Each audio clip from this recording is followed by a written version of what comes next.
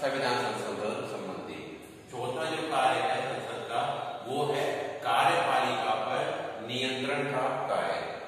कार्यपालिका पर नियंत्रण संसद किस प्रकार से करती है भारत के संविधान में स्पष्ट रूप से उल्लेख किया गया है कि भारत में शासन और प्रशासन चलाने के लिए एक सरकार होगी और सरकार के तीन अंग होंगे व्यवस्थापिका कार्यपालिका और न्यायपालिका व्यवस्थापिका जो हमारी केंद्रीय जो व्यवस्थापिका है उसको हम संसद के नाम से बुलाते हैं संसद के दो सदन है एक है राज्यसभा और एक है लोकसभा तो कार्यपालिका पर नियंत्रण का जो कार्य है कि भारत में मंत्री परिषद का जो गठन प्रधानमंत्री के द्वारा किया जाता है वो व्यवस्थापिका के सदस्य उसमें शामिल होते हैं।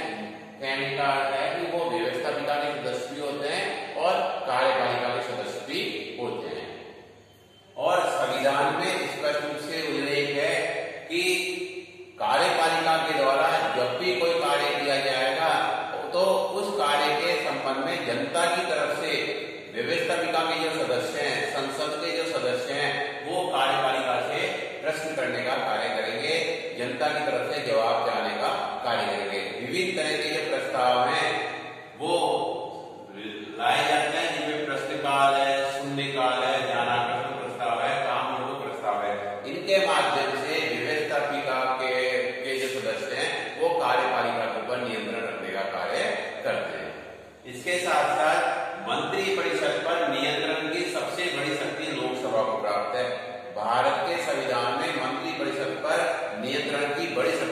लोकसभा को प्राप्त है, इसलिए प्राप्त है कि लोकसभा में जिस राजनीतिक दल का, जिस गठबंधन का बहुमत होगा, उसकी सरकार बनेगी। इसलिए लोकसभा को मंत्री परिषद पर नियंत्रण की बड़ी शक्ति प्राप्त है।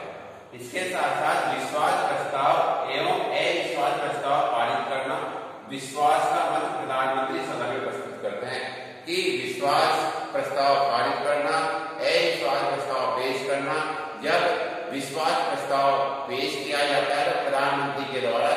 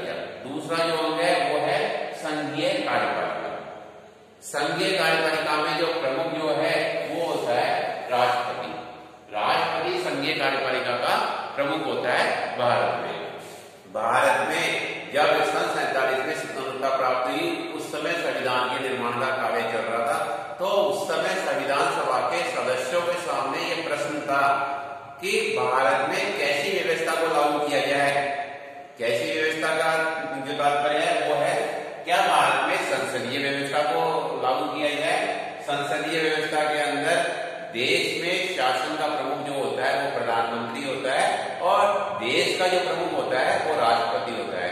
यह वर्तमान में किन देशों में है? यह वर्तमान में जापान में, जर्मनी में, इटली में, ब्रिटेन में और हमारे देश भारत में। दूसरी जो व्यवस्था है, दूसरा जो शासन का रूप है, वो है अध्यक्षात्मक। अध्यक्षात्मक शासन व्यवस्था के अंतर्गत देश देश और शासन का दोनों का प्रमुख राष्ट्रपति होता है। और उसी के द्वारा शासन का जो संचालित करने का जो कार्य है, वो किया जा रहा है। यह किन देशों में वो है संयुक्त राज्य, अमेरिका और ब्राज़ील में। तीसरी जो व्यवस्था है, वो है अर्थ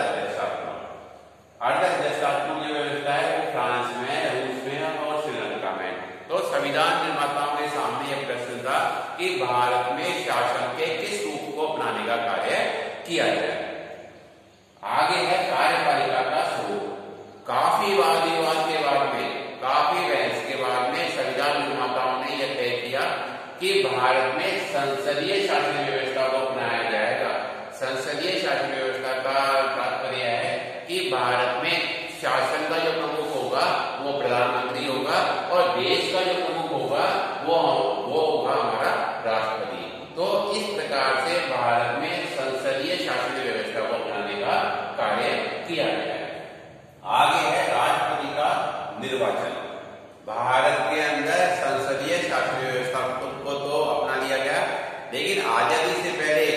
भारत में जो व्यवस्था थी वो ब्रिटिश शासन व्यवस्था थी और आज़ादी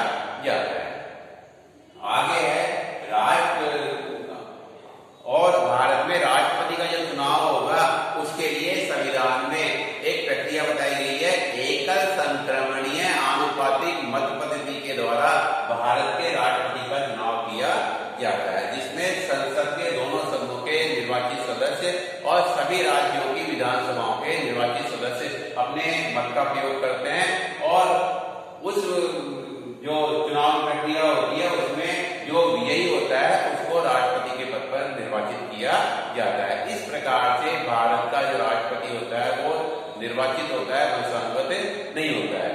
इसके साथ साथ भारत के राष्ट्रपति को संविधान के द्वारा बहुत सी शक्तियाँ प्रदान करने का कार्य किया गया है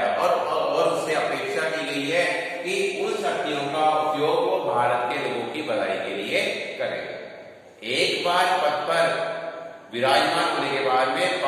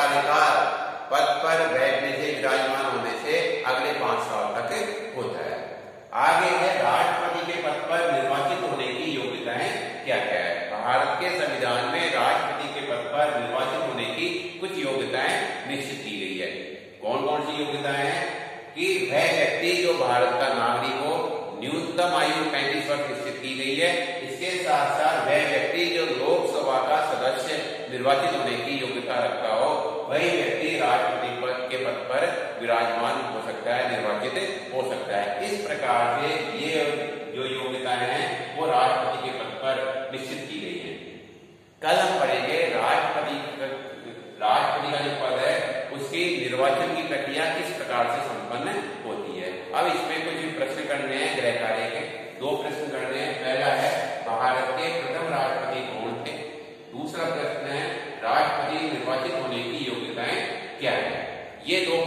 Khabib e não, boa.